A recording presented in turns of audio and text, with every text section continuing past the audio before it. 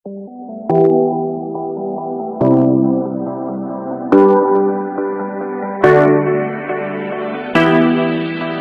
guys, welcome to CHEMONiX online digital classes.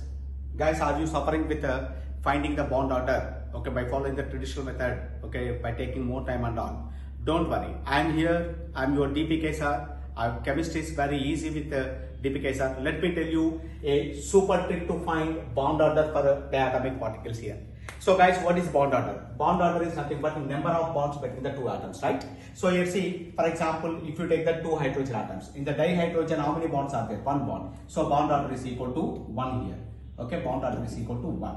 For two oxygen atoms, okay, bond order is equal to two. And between the two nitrogens, triple bond is here. So bond order is equal to three. So these are the known molecules. Then how to find the bond order for the, okay, the uh, different particles here. So for that, now let us see that here. Generally, to find the bond order, we are following this formula that is equal to half of the difference between the bonding and anti-bonding electron. This is the traditional method. Okay, this is the the traditional method. Correct. So let us uh, okay boycott this traditional method. Okay, for our competitive exams here.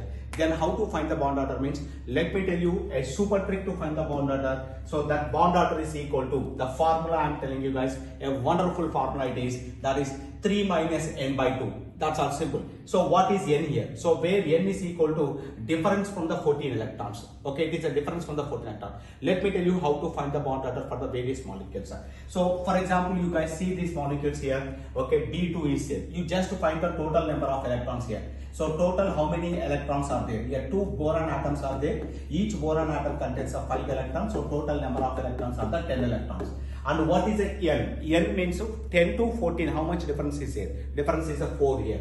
So here n value is equal to 4. So therefore bond order is equal to what here?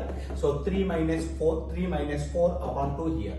Okay, 4 upon 2 that is equal to, okay, 3 minus 2 is equal to 1. That's also bond order is equal to 1. In 10 seconds, I'm very sure in 10 seconds you can answer the question here. So what is the bond order for the C2? Here very simple, same as here. Okay, 2 carbon atoms are there, 2 into 6 electron that is equal to 12 electrons here. So if the number of electrons are the 12, n is equal to what here? 14 to 12 electron difference. 14 to 12 electron difference is a 2 here. So n is equal to 2. So therefore the bond order is equal to what here? Bond order is equal to 3 minus 2 by 2. 2 by 2 means it is equal to 1. So 3 minus 1 is equal to 2. Bond order is equal to 2. See how fastly you can solve this here. So for N2 what is the bond order? So here 2 nitrogens are there. 2 into 7 electrons. Okay that is equal to 14 electron here. So n is equal to what here? 14 to 14 difference is equal to 0. So n is equal to 0. So therefore bond order is equal to 3 minus uh, 0 by 2. 0 by something okay is equal to 0 so 3 minus 0 is equal to 3 bond order is equal to 3 right? So like this you can solve the bond order. So now i'm giving you these three for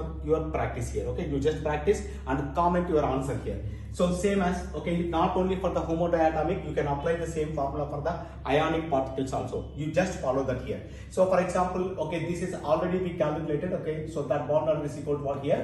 So bond order is equal to 3 minus total two oxygens are there 2 into 8 electron 16 electron 14 to 16 difference is 2 here.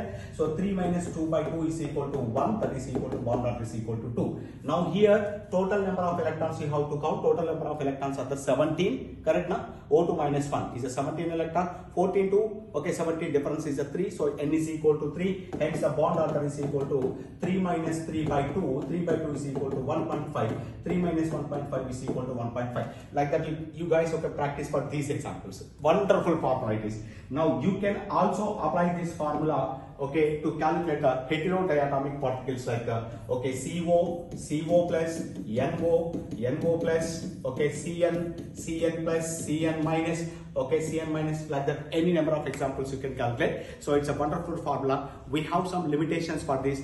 This formula is applicable for the 8 to 20 electronic species only. 8 to 20 electron species. If less than 8 are there how to do that? Okay for that you please contact the dpk sir okay at 9342468778 okay this is my contact number. Call me. Okay uh, you will get the wonderful tricks here thank you guys